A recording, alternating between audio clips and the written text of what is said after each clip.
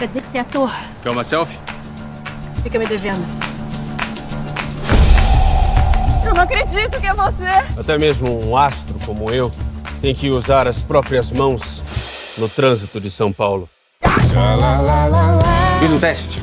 Seu caso deve ser comercial para fralda geriátrica. Você conhece bem esse seu meio irmão, né? Não consegue passar nem teste de pasta de dente. Como é que tá a novela? Ah, tá ótima. Vai ter ator? Não tem personagem pra você. Gatão, meu autor favorito. Eu preciso de inspiração.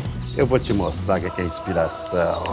Eu te conheço. Eu te conheço. Você tá mais forte, não? Você tá bem? Só você tá diferente também. Você tá mais. Lindo. Não, você tá mais. Rico. Você tá mais. Desejado. Como você é bonita. Parece com a minha avó. Oi? Seu atorzinho safado, três meses de aluguel atrasado.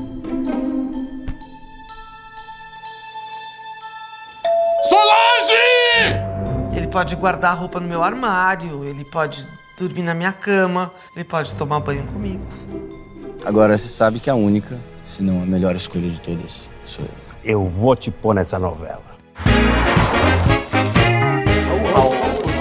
Sr. Raul Cardoso, algo a declarar? Eu, bom ator, carismático, atrai audiência. Sou o pacote completo.